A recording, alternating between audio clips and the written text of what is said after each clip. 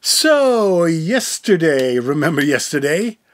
I talked about good reviews and getting bad reviews, and how easy it is to get a terrible review, and how hard it is to get clients and customers to say something positive. It turns out good reviews are seldom unsolicited. If you don't ask, you won't receive.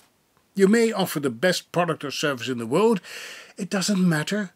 People like to complain when something's wrong, when they feel cheated or ripped off.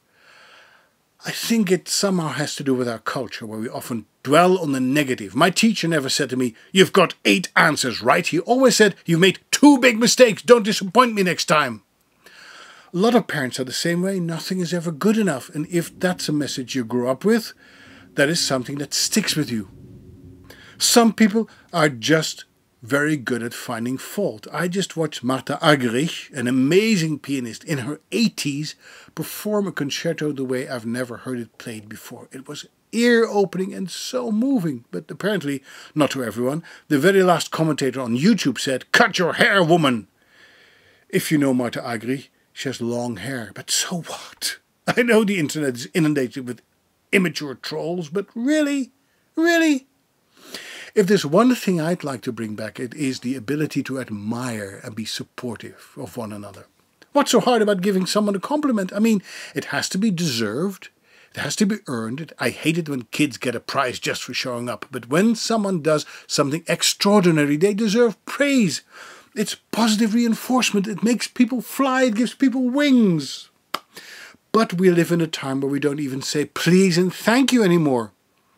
I think showing appreciation is a sign of respect, and best of all, it doesn't cost a thing. Now, what does this have to do with getting good reviews and testimonials, you may wonder? Well, there's this thing called reciprocity, give and take. You can't expect people to give you a rave review if you're not prepared to give on yourself. It's only fair, don't you think? And fair is often defined as an equal exchange. But here's the thing don't give in order to get but give from your heart.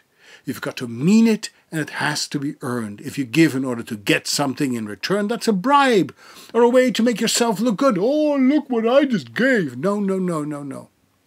But here's the magical thing when you start giving, you will receive in some way, shape, or form. At least that's my experience.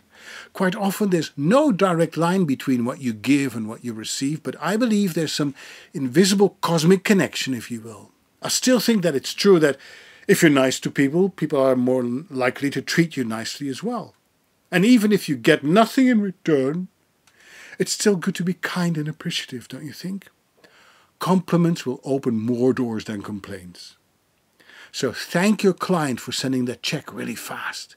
Thank your partner for always supporting you in this difficult business. Thank your colleagues for giving you advice when you most needed it. Thank your body for getting you through that difficult time. Thank those who gave you a difficult time. Yes, thank them too, because it made you stronger, didn't it?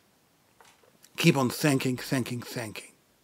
Making it a habit, make it a habit to show gratitude wherever you go. It will allow you to focus on all the things that go right in your life. And you'll be so much happier, I promise and you'll become what you attract a blessing.